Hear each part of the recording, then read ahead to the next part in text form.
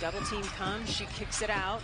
Jefferson, three doesn't fall, and that's kind of surprising because Jefferson is the best three-point shooter in the WNBA coming into this game, 58%. Wow.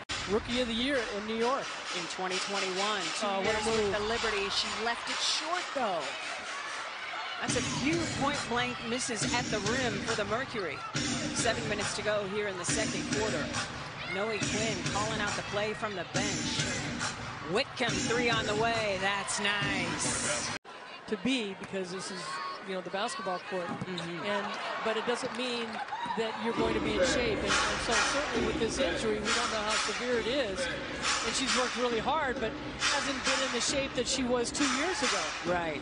Whitcomb buries the three. Yeah, Taurasi with zero. and the Mercury is still fighting So Horston picking up the loose ball. Turnovers continue to be an issue now for Phoenix. 11 of them. They average nearly 18 a game, which is an improvement from 22 just a week ago. Whitcomb is shot clock and game clock a little bit different. Time winding down here in the third quarter of play. Jewell Loyd surveying. Whitcomb for three. Point hold. Noelle Quinn and her staff learned something about what Seattle can do down the road. well the players have said we don't want to be down like that it's just it's tough to come back and they had a great crowd to help give them back and Whitcomb